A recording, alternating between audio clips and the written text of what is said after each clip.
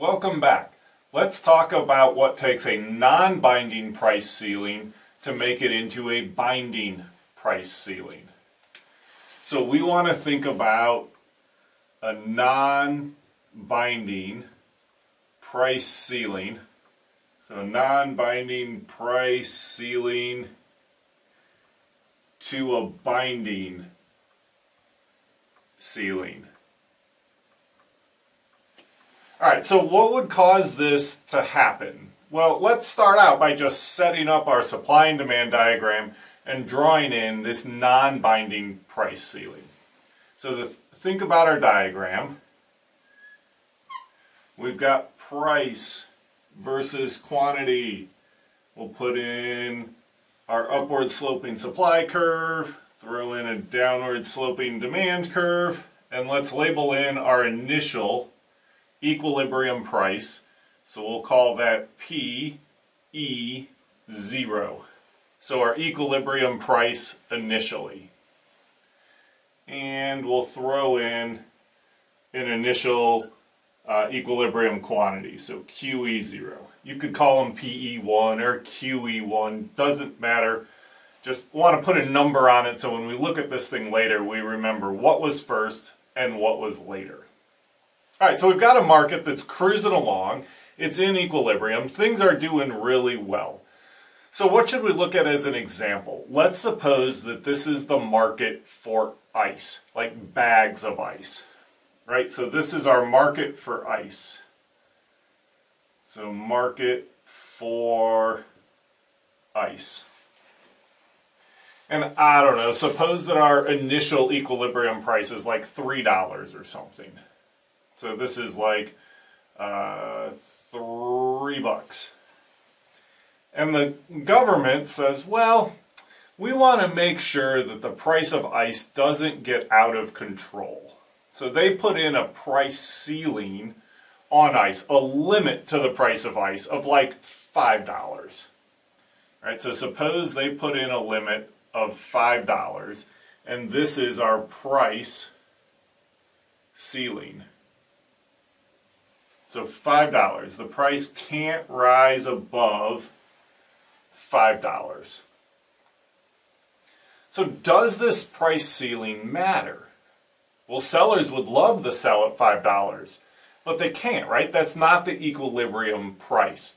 So nobody really cares about this $5 because the market for ice says that the price is $3 Government says you can't charge more than five bucks. Everybody shrugs and just kind of keeps going on along about their business. But what happens if there's an event that shocks this market? So maybe a hurricane, for example. So for our event, uh, let's put it over here so we've got a little bit of space, right? So for our event is a hurricane. So we've got our three-step process for this.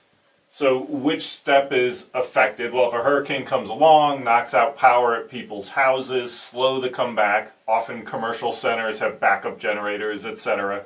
So this is going to be a story about the demand for ice. So this is a story about demand, and demand increases. Okay, so let's draw that in and see what happens. So suppose demand increases a lot. So now we've got a really strong demand for ice. So what does that do? Where is our new equilibrium? Well, if the market could work, that means that this price of ice would be driven up to something like, I don't know, $6 right? So this $6, we could call this P E 2. So this is our equilibrium price for ice after the demand shift, when demand is at uh, D2. So our third step was draw it in and see what happens. But here's where the price ceiling starts to come into effect. Right? So the price rises to, what did we say, $5 as our limit and cannot rise anymore.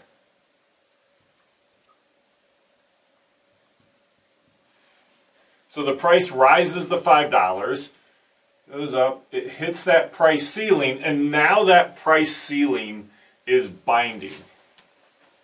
So if our new equilibrium price is higher than the price ceiling,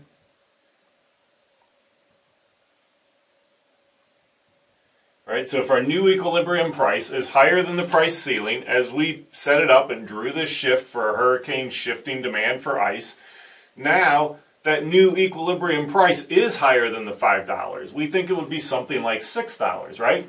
So if the new equilibrium price is higher than the price ceiling,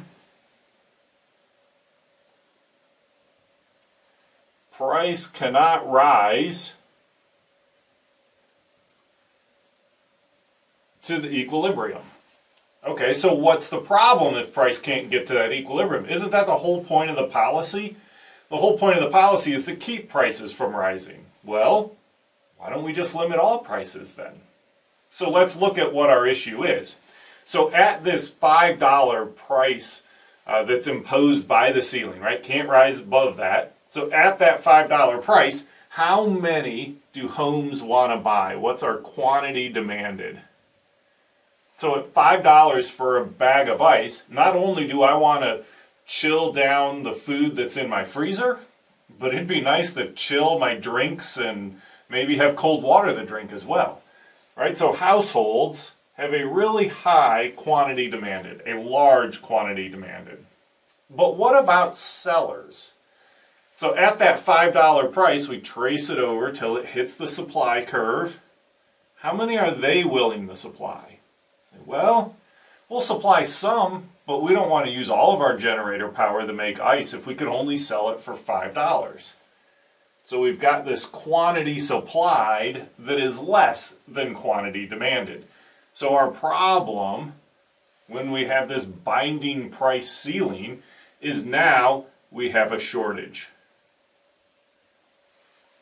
So if our new equilibrium price is higher than the price ceiling, Price cannot rise to the equilibrium. So what's our result from that? That means that a, a, price that's effectively too low, quantity demanded, exceeds quantity supplied, and we end up with a shortage. So well-intentioned programs designed to keep prices from rising have the unintended consequence of they may keep markets from working and may keep us allocating from allocating our scarce resources to their highest and best use. Economics is a story of trade-offs. Policies like these leave us with a trade-off. Do we want to keep prices from rising and end up with shortages, or do we allow prices to rise and have more of the good like ice, but now it's more expensive. It's a tough decision. That's why this is fun to debate. Thank you, and we'll see you next time.